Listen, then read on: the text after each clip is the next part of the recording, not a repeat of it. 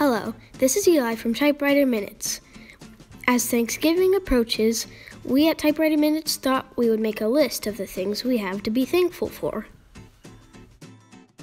This is Sam, and I'm thankful for the Constitution of the United States of America. This is Aylin. I'm thankful for God.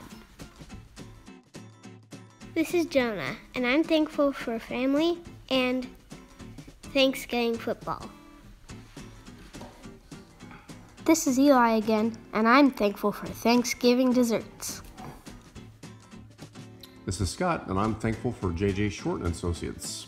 Thankful to JJ Short, we have a brand new Platen in my 1945 or 46 Smith Corona Silent. Got together with a buddy and we sent in a batch of Platens that had the same diameter from Smith Coronas had Sam's 1956 Smith Corona included, so he's got a nice new platen there. And it really does make a world of difference as far as the the noise that it makes. I have like a Torpedo 18B, just sounds like I'm typing with a machine gun. It's so loud because the platen is just rock hard. And you'll see, uh, or th I think you'll hear during the typing test what uh, how quiet it is when it types. We'll do a quick spin around of the body. This was a Craigslist find here locally, and it has a few nicks down here on the front because of the way they had it in the case.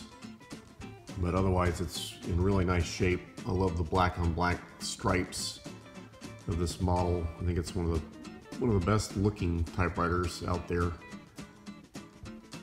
And we'll show some of the differences as we go along between this and the, the later 1956 model.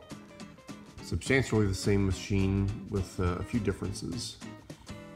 We didn't give this one the full chemical clean when we got it because it wasn't that bad and I was that anxious to just start using it. So uh, it's still fairly clean, really great typer, and uh, I'm thankful for this typewriter as well. One of the differences you'll find between the newer model and the older model is the keys. So the keys on the 45, 46 Smith Corona are chrome rimmed and a little bit flatter on top. And by the way, I say 45, 46 because I'm not clear from the database which it is. So I think we'll just call it a 46. Um, the keys are flatter on top. They have a chrome rim, which gives it kind of a really classic look. I think make this model really popular. And the 56 model. On the newer has ergonomic keys designed for comfort. So the keys dip a little bit on the inside. You can feel a little bit of a difference when you're typing.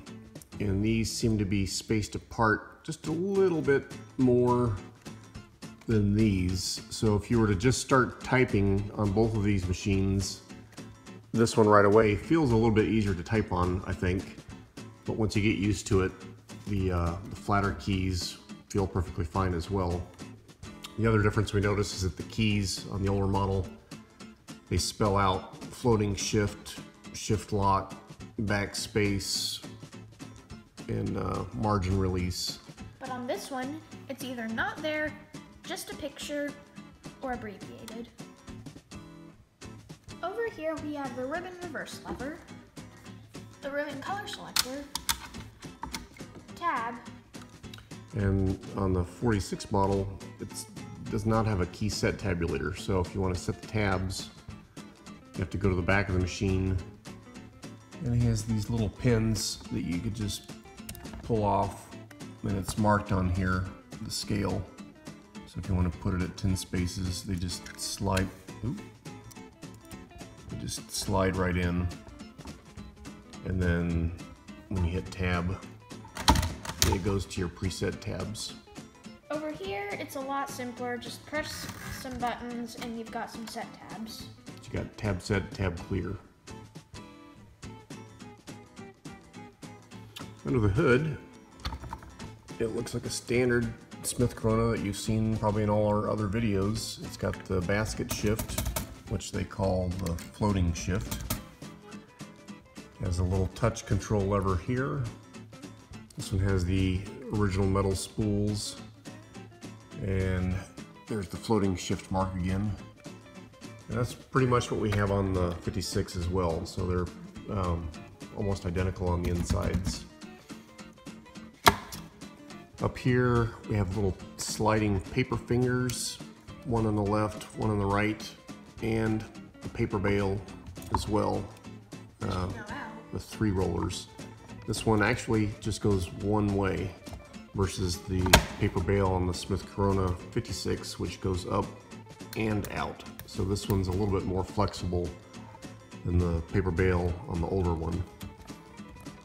Um, over here we have the carriage release lever, the paper release lever if you want to scooch the paper in straight after you got it in.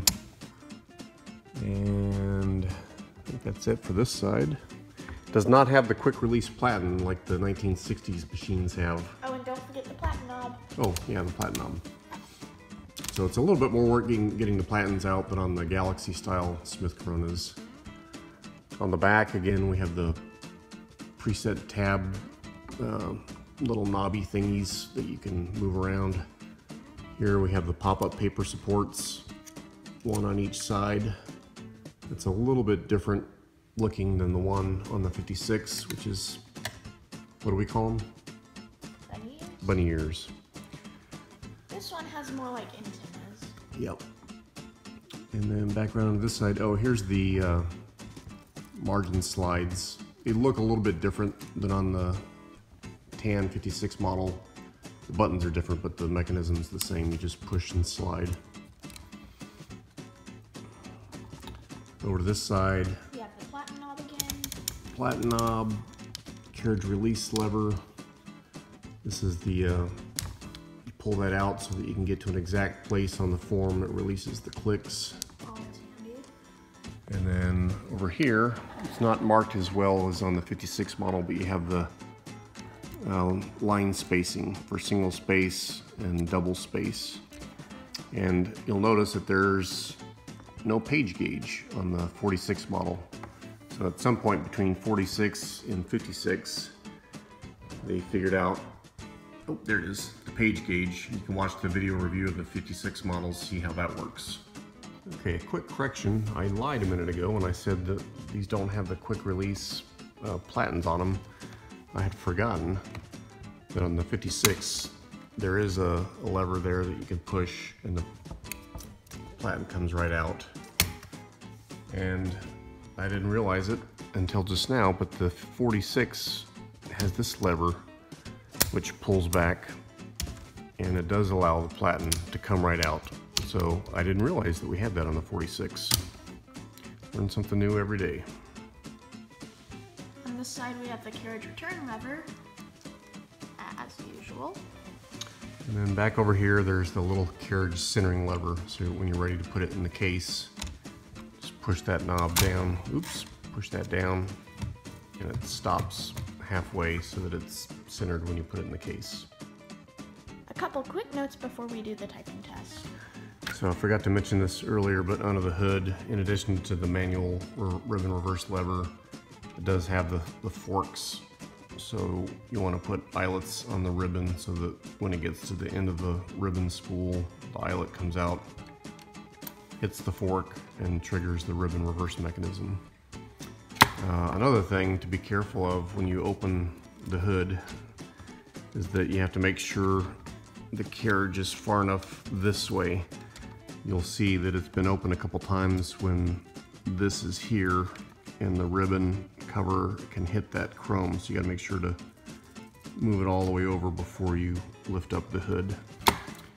And then finally, we'll take a quick look. Oh, put these down first. And then just a quick look under the machine. Looks like very, very, very familiar sight from all our other Smith Corona videos. And I'm thankful that the rubber feet on this are still in good shape. Pardon the dust, we haven't cleaned this one in a while. Before we move on to the typing test, here's a quick look at the case. So you'll see in the background there, that's the holiday case for Sam's 56. Um, And this one is completely different. So it's uh, wood, and it's got this black covering on it, and something you'll notice about these types of cases is they usually smell musty. This one's in good shape. Structurally, it's perfect. It has a few uh, areas on the corners where this covering material has come off. Otherwise, it's completely sound, but it does smell just a bit.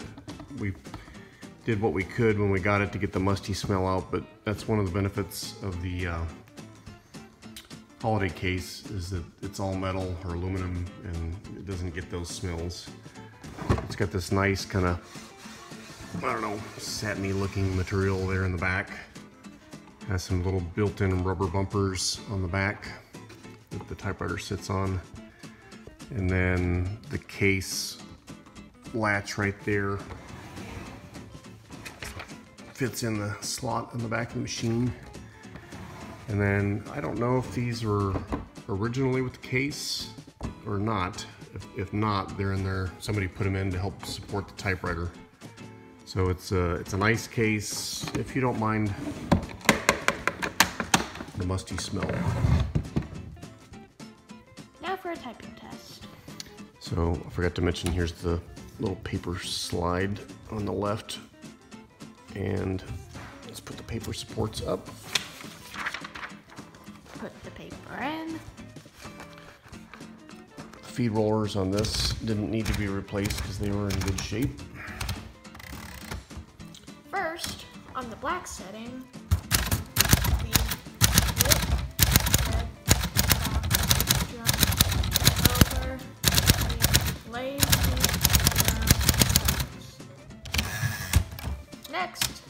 On the red setting, now is the time for all good things to come to the age of Oops. Line lock, large release. there.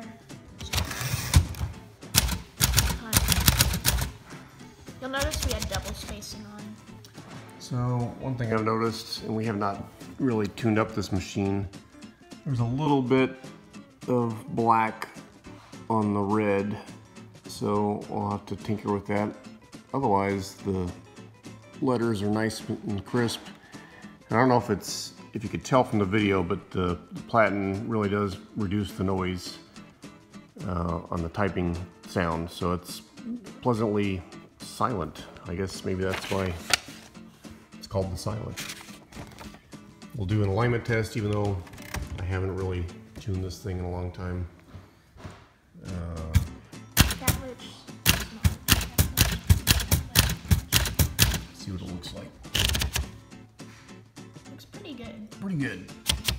Uh, we'll do one more on the right.